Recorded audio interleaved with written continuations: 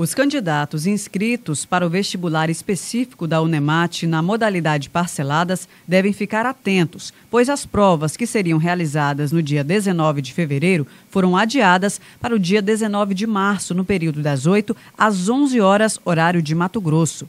A alteração na data de provas foi publicada em edital complementar de número 003/2016, Coveste, divulgado nesta terça-feira, dia 24. Neste concurso vestibular, a Unemate oferece 400 vagas nos cursos de Ciências Biológicas em Colíder, Sociologia em Confresa, Agronomia em Juara, Física em Luciara, Agronomia e Direito em Marcelândia, Filosofia e Zootecnia na cidade de Vila Rica.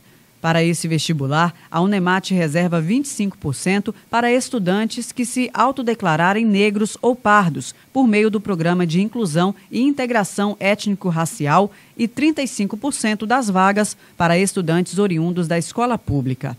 A divulgação do resultado final deste vestibular será conhecido a partir do dia 10 de maio. As datas de matrículas e calendário das aulas serão divulgados por meio de edital complementar. Para maiores informações, acesse o edital de abertura do vestibular específico para 2017-1 acessando www.unemate.br/vestibular.